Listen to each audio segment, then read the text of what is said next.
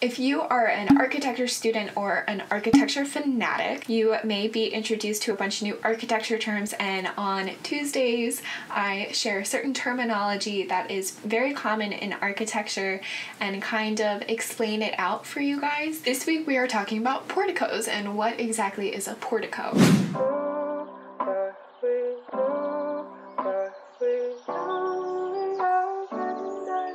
Hey guys, if you're new to my channel, my name is Natalie Perri. I am a current student at University of Pennsylvania and um, I'm getting my master's in architecture. I created this channel to kind of geek out a little bit about architecture history, help other architecture students. Please consider subscribing and even consider supporting my Patreon to help me pay for grad school. I'd greatly appreciate it. So by definition, a portico is a porch leading to the entrance of a building or extended as a colonnade. With a roof structure over the walkway, it is supported by columns or enclosed by walls. The idea was widely used in ancient Greek and has influenced many cultures, including most Western cultures. In architecture, a portico is a colonnaded porch or entry to a structure or a covered walkway. The number of columns that made up a portico determined its architectural name.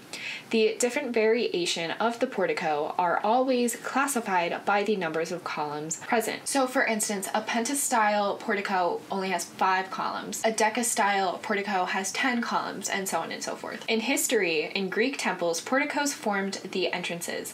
Most classical buildings had several layers of colonnades. The front row, however, is known as the portico. The surrounding open court is known as the peristyle. The Erechtheion is an ancient Greek temple in the Acropolis in Athens in Greece. It is dedicated to Athena and Poseidon.